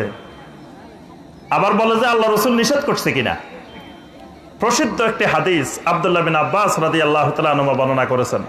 মোয়াবিয়া রাদি আল্লাহ তালু সহ আবদুল্লাহ বিন আব্বাস রাদি আল্লাহ তালুমা হজ করতে গেছেন। মোয়াবিয়া রাদি আল্লাহ তালাহ আল্লাহর ঘর তাওয়াব করতেছেন। তাওয়াব করার সময় যেই কোনায় যায় সেই কোন ধরে ধরে খালি স্পর্শ করে, খালি স্পর্শ করে। আল্লাহর ঘরের কোন কয়টা? জি? আল্লাহর ঘরে যান নাই, দেখেনও নাই। আল্লাহর ঘরের কোন কয়টা? চারটা। একটা কোনের নাম রকনে ইয়ামেনি, একটা কোনের নাম হাজরা আসওয়াদ একটা কোনের নাম রকনে স্বামী একটা কোনের নাম রকনে ইরাকি। চার কোনার চারটা নাম আছে। রকনে ইয়ামেনি, এটাকে স্পর্শ করা সুন্নত। এটাকে চুম্বন দেওয়া যায় না, অন্য কিছু করা যায় না, খালি স্পর্শ করাটা সুন্নত। হাজরা আসওয়াদের কোন যেটা, এটাকে ধরে চুম্বন দেওয়া সুন্নত। চুম্বন দিতে না পারলে দূরের থেকে হাত দিয়ে ইশারা করতে হয়। বাকি যে দুইটা আছে, রুকনে ইরাকি, রুকনে স্বামী, এগুলা চুম্বন দেওয়া যাবে না, হাত দিয়ে স্পর্শ করাও যাবে না। মোয়াবিয়া রাদি আল্লাহ যেই কোণে যায়, সেই কোন খালি দড়ি দড়ি স্পর্শ করে। আবদুল্লাহ বিন আব্বাস রাদি আল্লাহ তালুমা ধরে ফেললেন, আপনি কেন সব কোনায়, সব জায়গায় যাই যাই ধরতে আছেন? ক অসুবিধা কি? আমি আল্লাহর গণনা ধরতেছি, আমি খারাপ কিছু করতেছি? এখানে গুনার কাজ করতেছি, আমি আল্লাহর গণা স্পর্শ করতেছি, আল্লাহর গণ ধরলেও গুণা হয়? আবদুল্লাহ বিন আব্বাস রাজি আল্লাহ হোমা বললেন আমি আমার রাসুলের সাথে হজ করেছি, আমার রাসুলের সাথে তাওয়াব করেছি, আমার রাসুলকে দেখছি ওই দুই কোনা রোকনে ইয়াবেনিয়া স্পর্শ করছেন, হাজরা সোয়াদে চুম্বন দিছেন, এই দুটা কোন হাত দিয়ে ধরেনও নাই, স্পর্শ করেন নাই, চুম্বনও দেন নাই। আচ্ছা এবার মোয়াবিয়া রাদি আল্লাহ তালু কয় কয় আচ্ছা রাসুল করেন নাই, রাসুল ধরেন নাই, ভালো কথা। তো মোয়াবিয়া আবদুল্লাহ বিন আব্বাস, তুমি বলো, আল্লাহ রসুল এই দুটা ধরতে নিষেধ করছে কিনা? নবী ধরেন নাই ভালো কথা। নবী নিষেধ করছে কিনা যে এই দুটা কোন স্পর্শ করা যাবে না? এই কথা বলছে কিনা? আবদুল্লাহ বিন আব্বাস রাদি আল্লাহ নোমা তখন দলিল পেশ করলেন, সুরা আল আহজাবের একুশ নম্বর আয়াত, লাকাদ কানা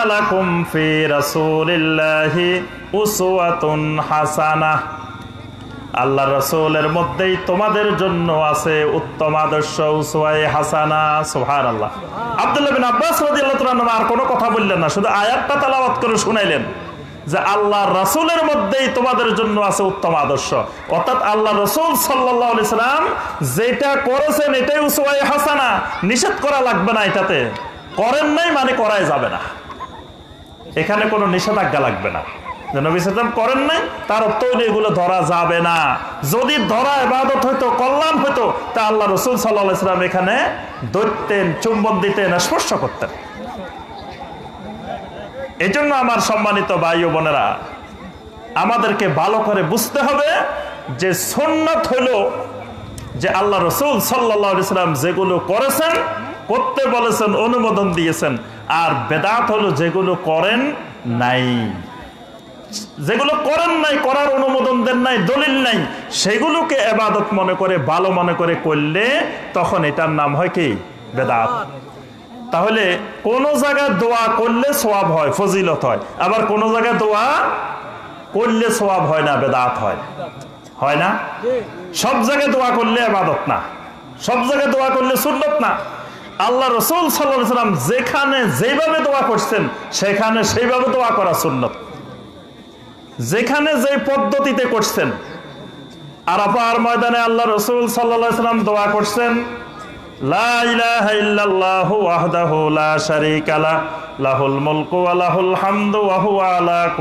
যেভাবে দোয়া করছেন, ওইভাবে দোয়া করার নাম সুন্নাত। ওই পদ্ধতি থেকে বাহিরে গেলে ওই পদ্ধতির ব্যতিক্রম হলে দোয়া করতেন কীভাবে? সুবহানাকা আল্লাহুম্মা বিহামদিকা আশহাদু আল্লা ইলাহা ইল্লা আনতা, আস্তাগফিরুকা ওয়া আতুবু ইলাইক। এটা হলো নবী সাল্লাল্লাহু সাল্লামের যে কোনো মাজলিসের যে কোনো ওয়াজের যে কোনো আলোচনার বৈঠক থেকে ওঠার সময় আল্লাহ বলছেন তাকুম। যখন আপনি উঠে যাবেন, তখন আপনি আল্লাহর তাজবি আদায় করবেন। এই তাজবিটা হলো এটা। নবী সাল্লাল্লাহু সাল্লাম এইটা আমল করে কোরআনের আয়াতের বাস্তবায়ন দেখাইছেন। এখন আমরা যদি ওয়াজ মাহফিল শেষে সবাই মিলে আধা ঘণ্টা ধরে লম্বা মোনাজাত চালাইতে থাকি, তখন এটা দেখতে বাহ্যিকভাবে সুন্দর কাজ, ভালো কাজ, কিন্তু এটা নবী সাল্লামের সন্ন্যতের বিপরীত। নবী সাল্লা সাল্লাম জীবনে দশ বছরের উপরে পাঁচ ওয়াক্ত সালাতের ইমামতি করছেন, কিন্তু কোনোদিন সালাম পিরানোর পরে সাহাবাই কালামদেরকে নিয়ে একসাথে নবী সাল্লামের নেতৃত্বে সম্মিলিত মোনাজাত করেন নাই। এখন আমি যদি করি নবী করেন নাই অসুবিধা কি? নবী নিষেধ করছে নাকি? এখানে মোনাজাত করা দোয়া করা খারাপ কাজ নাকি? এটা তো ভালো কাজ। এই কথা মনে করি যদি এখানে করি তখন এটার নাম হবে কি? বেদাত। তবে আমি একা একা যদি করি তা অসুবিধা নাই এটা সুন্নত। কিন্তু ইমামের নেতৃত্বে একজনের নেতৃত্বে জামাতবদ্ধভাবে করা এটার নাম বেদাত। আল্লাহ রসুল সাল্লাহ সাল্লাম সাহাবাইকরাম জিকির করতেন কিনা? করছেন। মনে হয় নবী সাল্লাম জিকির করেন নাই কোনোদিন। সাহাবাইকরাম তাহলে আল্লাহ রসুল সাল্লাম সাহাবাই কেরাম যেই পদ্ধতিতে যেভাবে জিকির করেছেন, কেয়ামত পর্যন্ত ওই পদ্ধতিতে জিকির করা সুন্নত। আচ্ছা সাহাবাই কেরামরা কোন তরিকার জিকির করতেন বলেন তো দেখি। কথা কয় না। সৃষ্টিয়া তরিকার জিকির। নকশবন্দিয়া, মোজাদ্দেদিয়া, কাদেরিয়া। তো কোন তরিকা? রাসুল তাহলে আল্লাহ রসুল সাল্লাম জিকির করছেন সাহাবাইকরাম জিকির করেছেন। কেয়ামত পর্যন্ত ওই পদ্ধতিতে জিকির করা সুন্নত। ওই পদ্ধতির বাহিরে গিয়ে যত পদ্ধতির যত কলা কৌশলের যত সুন্দর জিকির করি না কেন ওইটা বেদাত। ওই পদ্ধতির বাহিরে গিয়ে নতুন পদ্ধতিতে জিকির করলে এটা আর এবাদত হয় না এটা বেদাত হয়ে যায়। দেখতে অনেক সুন্দর মনে হোক অনেক ছাকচিক্যমে মনে হোক কিন্তু এটা বেদাত। আল্লাহ রসুল সাল্লা সাল্লাম সাহাবা ইকরাম দৌড় পড়ছেন কিনা পড়ছেন। ওই যুগে মনে দৌড় পড়তো না। পড়তো? আল্লাহ একবার দৌড় পড়তো মানে কি? দরুদ আল্লাহর জিকির। দরুদ একটা আল্লাহর জিকির। আল্লাহা কিয়ামান ওয়া কুউদান ওয়া আলা জুনুবিহিম। সাহাবাই কেরাম আল্লাহর জিকির করতেন। দাঁড়ানো অবস্থায় আল্লাহর জিকির করতেন, বসা অবস্থায় করতেন, শোয়া অবস্থায় করতেন। চলতে ফিরতে হাঁটতে সব সময় তারা দরুদ পড়তেন পড়তেন না? তাহলে তারা যেই পদ্ধতিতে, যেই সিস্টেমে দরুদ পড়েছেন, কেয়ামত পর্যন্ত ওই পদ্ধতিতে দরুদ পড়ার নাম সুন্নত। ওই পদ্ধতির বাহিরে গিয়ে নিজেরা বানিয়ে বানিয়ে বিভিন্ন কবির কবিতা দিয়ে দিয়ে, বিভিন্ন সংগীত দিয়ে তালে তালে সুরে সুরে মহব্বতের সাথে যত রকমের দরুদ পড়ি না কেন, এই দরুদ সুন্নত নয়, এই দরুদের নাম বেদাত। এই দরুদের নাম বেদাত। এই দরুদ ছাড়া জীবন পড়তে পারব, আল্লাহ পাক কোনো দরুদ কবুল করবেন না। কারণ এটা এবাদত। এবাদত কেউ বানাইতে পারে না, কবিতা সবাই বানাইতে পারে। কবিতা আমিও লিখতে পারি, আপনিও পারেন। পারেন না? কবিতা যে কেউ কবি হতে পারে। কিন্তু এবাদত কেউ বানাইতে কেয়ামত পর্যন্ত কারও এবাদত বানানোর অধিকার নাই। এই জন্য আমরা যেটা পড়ি, বালাগাল বিকামাল এটা পড়েন? আপনাদের এদিকে মনে হয় নাই? কারণ এদিকে তো অনেক আলমোলামা আছে, এটা থাকার কথা না। আছে? বালাগাল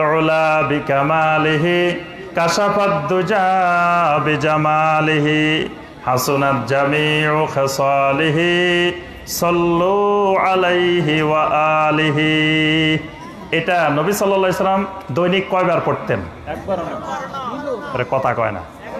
নবী সাল্লাল্লাহু আলাইহি সাল্লাম ডেলি কয়বার পড়তেন?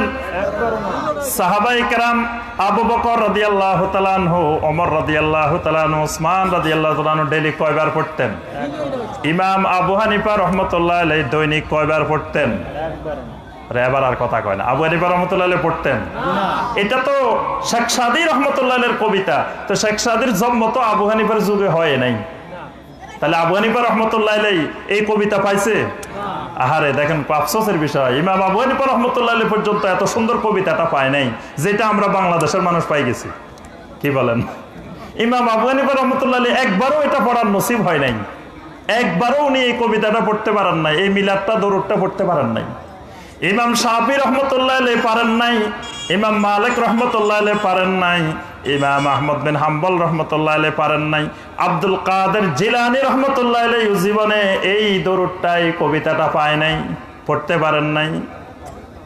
কত আফসোসের বিষয় না? আজকে আমাদের দেশে এই কবিতা দিয়ে ওয়াজ মাহফিল শুরু হয়, জুমার খোদ্া শুরু হয়, বাড়ি উদ্বোধন হয়, ঘর উদ্বোধন হয়, রাস্তা উদ্বোধন হয়, বিবাহ শাদী উদ্বোধন হয়, সব উদ্বোধন হয় এটা দিয়ে। হয় না? অথচ এটা একটা কবিতা। এটা কোনো এবাদত না। এবাদত হলো দরুদ, এবাদত হলো সালাম। আল্লাহ পাক সরাসরি নির্দেশ আইয়ুহাল্লাযীনা আমানু